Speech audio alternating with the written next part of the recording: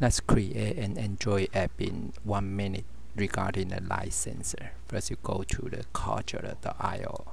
It's a web-based app creator. And you create a create apps.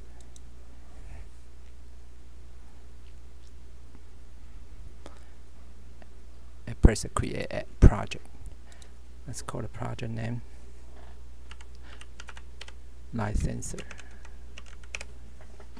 and go to next. Press finish. It'll be ready. And need two items. First one is the label to show the live value. You can change your font size to 28 and change your width to fill the screen. Change your text to let's say live value. And want the text to alignment in the center. The second part of course is the sensor. Let's drag the light sensor into it.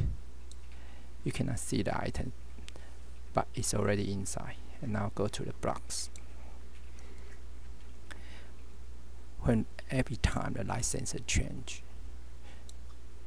it will read the, the value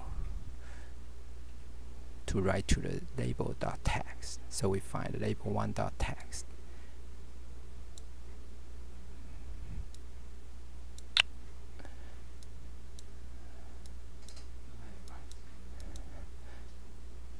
get it.